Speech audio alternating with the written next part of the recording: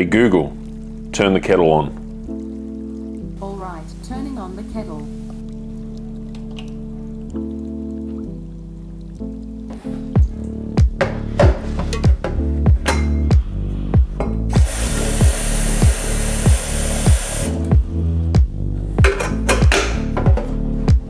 Let's go with uh, foods that start with the letter Q, please.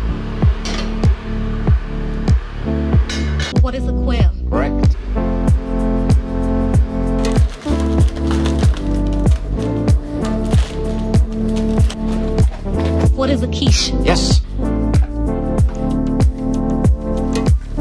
What is a quahog? Right.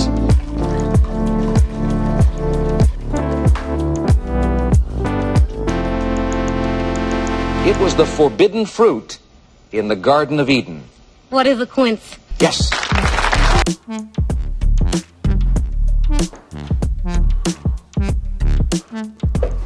We started off making an infusion with the rooibos tea. Simply pouring boiling water over, letting that infuse for roughly three to three and a half minutes.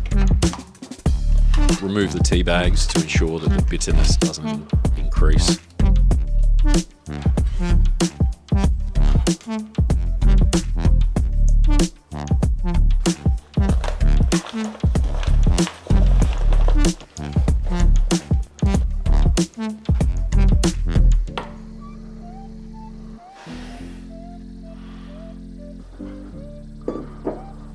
Prepare the quince, we need to remove the skin and all the blemishes. This is what we call a speed peeler in the industry.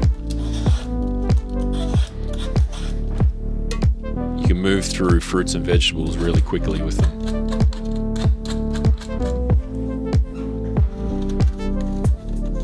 This turning knife comes in really handy get in all the nooks and crannies and remove all the blemishes and pieces of skin left behind that the peeler didn't catch.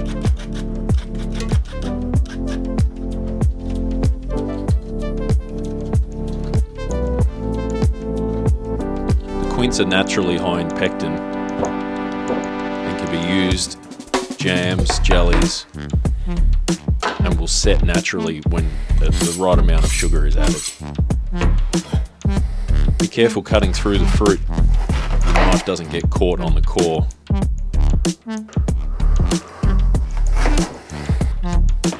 They're roughly the consistency of a potato.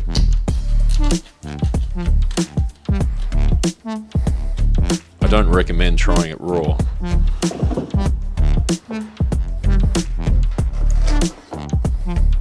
You need to move reasonably quick because they do tend to oxidize quickly.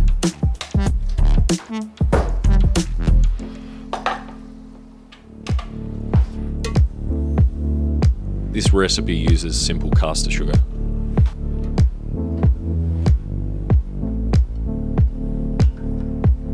Two star anise, one cinnamon, one vanilla pod. I haven't bothered scraping the vanilla pod because it's going to simmer and loosen up the insides anyway. Some lemon peel,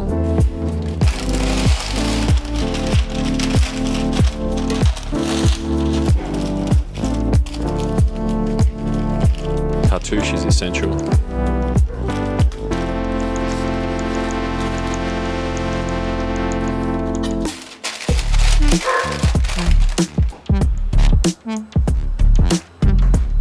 Form a nice seal on the top. Lid on. Into a preheated oven, 120 degrees Celsius. Be careful of the steam. Colour of poached quince varies. These have come out quite light. As the season progresses, expect them to be more ruby red. Reduce the cooking liquor, pour back over we're done.